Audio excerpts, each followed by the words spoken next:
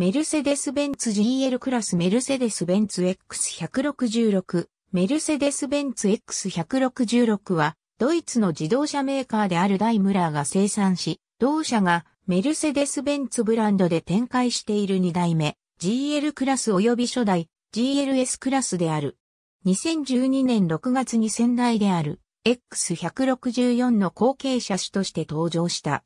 X166 は現行の M クラスのプラットフォームをベースにしている。3列シートを装備しており、7人乗車が可能な車種である。メルセデス・ベンツでは、この車種をファーストクラス SUV と銘打っている。2015年のマイナーチェンジ実施と同時に名称を GL クラスから GLS クラスへと変更した。そのため GL クラスはこの車種にて終了となっている。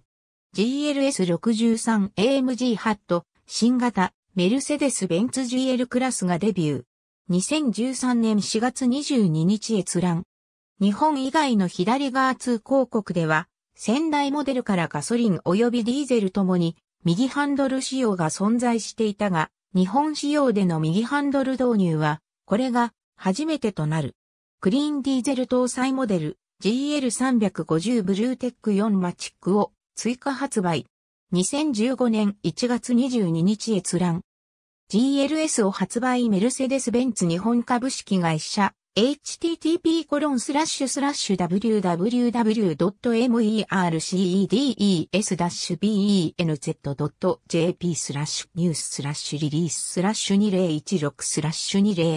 20160427 PDF2016 年4月28日閲覧ありがとうございます。